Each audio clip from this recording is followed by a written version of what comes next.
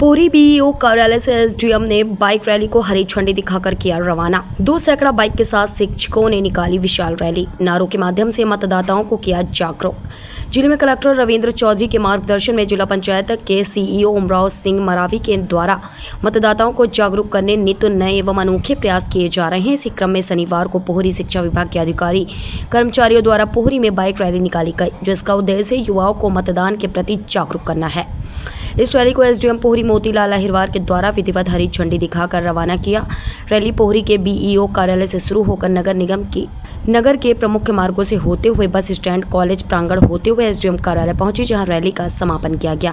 Rally में दो सैकड़ा से अधिक अधिकारी, कर्मचारियों ने भाग लिया। रैली जिस भी जगह से होकर गुजरी, सारे काम छोड़ दो। सबसे पहले वोट दो। जैसे नारों से शहर की गलियाँ गूंजने लगे। इस दौरान विकास खंड शिक्षा अधिकारी Awadhesh Singh Tomar B R C Shivcharan Lal Jatav, संकुल प्रचारक Balveer Singh Tomar, CMO Ramesh Bhargav BSP Bharat Singh Dhakad CSC Kuldeep Shrivastava, Brajmohan Jat Shiv Kumar Shrivastava, master trainers Dinesh Gupta उपस्थित रहे। पूरी से धर्मेंद्र शर्मा की report.